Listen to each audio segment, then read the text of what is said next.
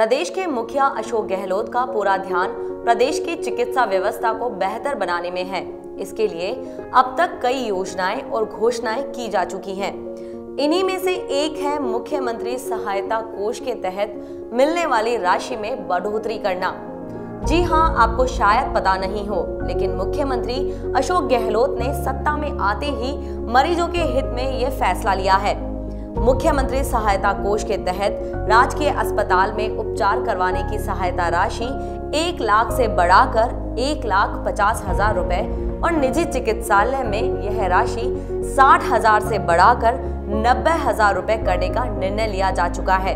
गहलोत सरकार के इस फैसले से गरीब परिवारों के चेहरे पर एक सुकून है कि अब बीमारी का इलाज न करा पाने के कारण उन्हें अपने परिवार के किसी सदस्य को नहीं खोना पड़ेगा।